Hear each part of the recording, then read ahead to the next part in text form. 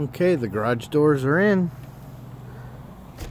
The siding should go up on probably Monday, I would think.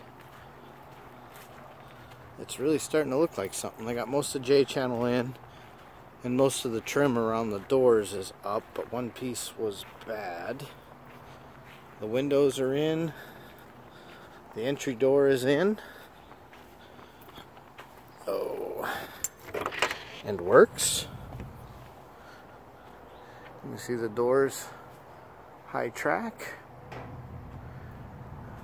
You can see here so that we can have the lifts on this side without having to worry about the cars. And they open pretty easily, but eventually they'll get garage door openers on them. But you can see they open and close pretty easy. No, it's really coming together now. Starting to actually look like something. But the wall will be right, uh, where's the line? Right here.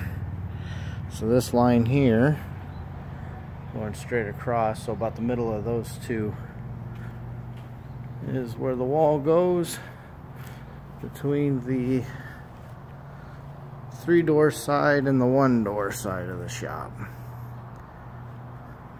No, it's definitely coming along now. Getting pretty excited. Hopefully we get concrete before too long.